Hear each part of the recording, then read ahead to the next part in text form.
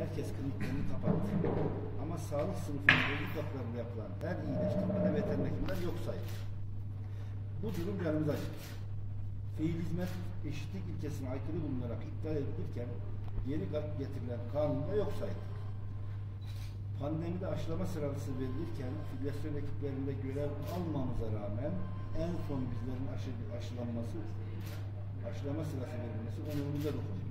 Hizmet vermeye devam etti. Bu hizmetleri yürütürken devletten hiçbir destek almamasına rağmen İTS, ATS gibi sistemlerle boğazlarının sıkılması, insan ilaçlarında vitaminler gibi ilaçlar takip sistemine dahil değilken veteriner hekimlerin kullandığı her ilacın sisteme dahil olması cezai yaptırımlara karşı karşıya kalmaları kabul edilebilir değildir. Hiçbir akademik meslek mensubunun belediyeden ruhsat alma zorunluluğu yokken veteriner hekimlerin belediyeden ruhsat al, almak zorunda olmalarının neresini anlar? Ayrıca emekli olan kılıçlı meslektaşlarımız asgari ücretin 5500 lira TL olduğu ülkemizde 3500 TL civarında maaş almaktadır. Bunun izahı olabilir mi? Ayrıca da kamuda çalışan veteriner hekimler doktorların neredeyse yarısı kadar emekli ücret almaktadır. İTS'nin çıkış amacı için insanların tükettiği gıdada kalıntı olmaması, antibiyotik direnci, sağlıklı gıdaya erişim gibi şeyler söylenebilir.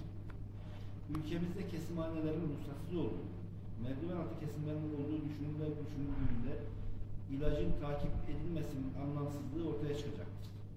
İlaçta karakot uygulaması olmadan, spot ilacının önüne geçilmeden sadece kliniklerinizi takip etmek abesle iştigaldir. Sorunlarımızı sıralayabiliriz. Ülkemizde yerli ve milli aşı, aşı üretenin bir veteriner hekim olduğu insanlardaki enfeksiyon kaynaklarının yüzde yetmişinin hayvansal gıda kökenli olduğunu unutmayalım, unutturmayalım. Öğrenciliğimizde 200-250 zoonuz hastalıktan bahsedilirken artık bugün çok daha fazla zoonuzdan bahsedilmektedir. Bu arada zoonuz hastalık hayvanlardan insanlara, insanlardan hayvanlara karşılıklı geçebilen hastalıklara demektedir. Bugün COVID, kuş gribi, dün domuz gribi, yarın kim bir hangi enfeksiyon. Bunların tamamı veteriner olmadan mücadele edilebilecek hastalıklar değildir. Dünyada sağlık, insan sağlığı, hayvan sağlığı diye birbirinden ayrılmadan tek sağlık konseptinde değerlendirirken ülkemizde hala sağlık sınıfından olduğumuz yetkili otoriteye anlatmakta zorlanıyoruz.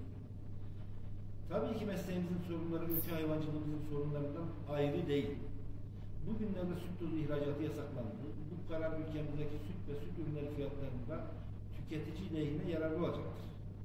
Avrupa'da sütün 50-55 euro sent olduğu düşünüldüğünde ülkemizde 7,5 TL yani 40 sent civarında fiyatla üreticinin para kazanması mümkün görünmüyor. Şu anda bir litre sütün üretim maliyeti 8,5 lira civarında. Buna büyüye yetiştirme ve benzeri gibi maliyetleri koyarsanız çok daha yukarı çıkacaktır. Kırmızı, kırmızı et yetiştiriciliğinde de durum hiç farklı değil. Kırmızı et yetiştiricileri de maliyetlerin altında kesim yapmaktadır. Bu durum sürdürülebilir değildir. Tüketicinin ucuz hayvansal gıda tüketebilmesi için yem maliyetlerinin ucuzlatılmasının yolu bulunmalı, üreticiye daha çok destek verilmelidir. Küçük ve orta ölçekli işletmeler ayakta tutulmaya çalışılmalıdır ki bu durum köyden kentin durumuna geçecektir.